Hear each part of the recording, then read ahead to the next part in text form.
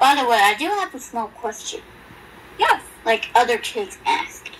They want to know if, like, what kind of preparations or maybe reading level do they need to join this class, or to at least have kind of a good Okay. experience? Okay.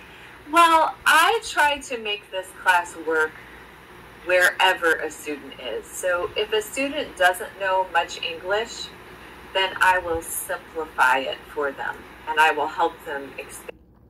老师是说，就算一个学生他的 reading level 很低，他就会把那个难度就降低一点，这样想办法让那个学生有办法懂。而如果 reading level 蛮高的的话，那他就会把难度稍微调高一点，让他可以学更多。所以 reading level 是不是老师一开始给的那个 keywords？对，对，所以老师也是用那个来判断，对不对？就像你刚才一开始你要念的 keywords，这样对， their learning.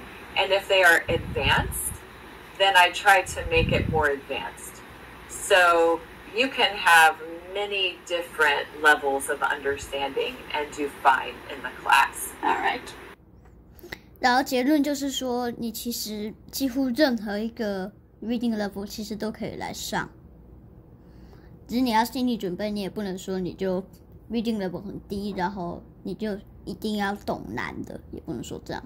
哦，所以就是说，他会从你一开始看到那个 keywords，、你的阅读的反应来判断你需要一个怎么样的课程。对，那就是不要担心自己程度不够高，但是就是学习的话，他会依照你的程度去规划。对，谢谢你翻译。